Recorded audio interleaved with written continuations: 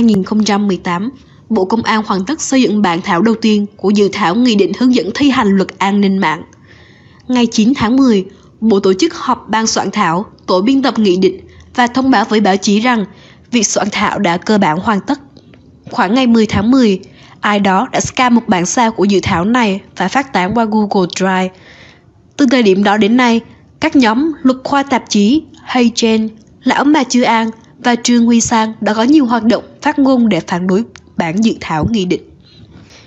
Ngày 2 tháng 11, Bộ Công an chính thức thông báo rằng Bộ đã hoàn tất xây dựng bản dự thảo và đăng nó trên website của Ngày 2 tháng 11, Bộ Công an chính thức thông báo rằng Bộ đã hoàn tất xây dựng bản dự thảo và đăng nó lên website của Bộ để lấy ý kiến trong vòng 2 tháng. Bản dự thảo mới gồm 30 điều, lược bớt một số điều khoản gây tranh cãi có trong bản đầu tiên. Trước và sau thời điểm đó, Bộ Công an đã thực hiện một số hoạt động tuyên truyền về dự thảo. Chẳng hạn ngày 31 tháng 10, Bộ trả lời báo chí rằng lực lượng chuyên trách bảo vệ an ninh mạng chỉ được phép tiếp cận thông tin cá nhân của người sử dụng có hoạt động vi phạm pháp luật với trình tự, thủ tục nghiêm ngặt bằng văn bản, được các cấp có thẩm quyền phê duyệt. Nếu lực lượng này lạm dụng, làm lộ thông tin cá nhân của người sử dụng sẽ bị xử lý theo pháp luật. Trong tuần qua, các tổ chức, cá nhân chống đối đã phản ứng theo một cách hào hứng trước các diễn biến trên. Đài VOA tiếng Việt tường thuật các tuyên bố của Bộ Công an như một tin mới và đáng mừng. Dù trong thực tế, Trung tướng Hoàng Phước Thuận, Cục trưởng Cục An ninh mạng Bộ Công an đã đưa ra những phát biểu tương tự từ ngày 13 tháng 10. Trong dư luận phi chính thống, phản ứng mạnh nhất vẫn đến từ nhóm Hay Ngày 3 tháng 11, nhóm này đã viết bài phân tích các điểm hợp lý và bất hợp lý của bản dự thảo mới. Họ cho rằng dự thảo mới còn sót lại 4 vấn đề. một, Đám mây điện toán vẫn bị kéo về Việt Nam. 2. Mọi dữ liệu tải trên mạng và tương tác bạn bè đều bị buộc phải lưu trữ. 3. Thời gian lưu trữ 3 năm là quá lâu.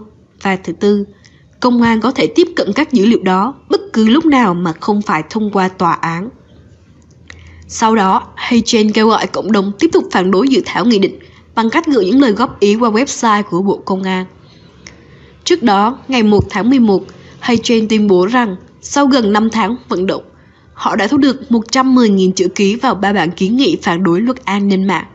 Để khích lệ cộng đồng tiếp tục ký tên ủng hộ, họ viết rằng nhờ tiếng nói của cộng đồng, công ty Formosa đã phải xin lỗi người dân Việt Nam, luật về hội đã được hoãn, đảng viên ẩu dâm Nguyễn Khắc Thủy đã phải lệnh án tù giam.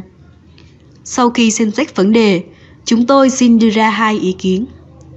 Thứ nhất, các phát biểu của Bộ Công an trong tuần qua đã hóa giải một lực lượng lớn thông điệp tuyên truyền của giới chống cộng. Giờ đây, họ không thể nói rằng Bộ không công bố dự thảo nghị định hướng dẫn thi hành luật an ninh mạng để dư luận góp ý.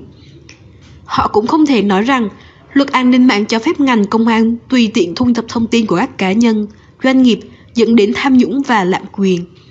Tiếc rằng giới chống cộng vẫn coi đây là những tin mới, dù chúng đã được Cục trưởng Cục An ninh mạng Hoàng Phước Thuật đưa ra từ ngày 13 tháng 10. Thứ hai, cần nhớ rằng dự thảo nghị định đã được chuyển cho các ban ngành, đoàn thể, doanh nghiệp để lấy ý kiến trong vòng một tháng trước khi được công khai trên website của Bộ Công an. Do đó, dự thảo hoàn toàn có thể được điều chỉnh bởi ý kiến của các tập thể vừa nêu, chứ không phải bởi ý kiến của dư luận mạng. Giới chống cộng nên lưu ý điểm này, thay vì ảo tưởng rằng họ và dư luận mà họ tạo ra có một tầm quan trọng quá lớn.